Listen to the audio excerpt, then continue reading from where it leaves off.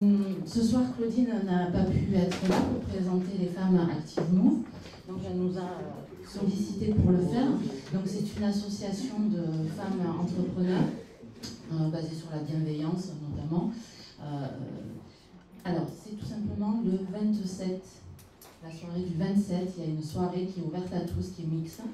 Donc, les hommes peuvent tout à fait venir, ils sont complètement les bienvenus.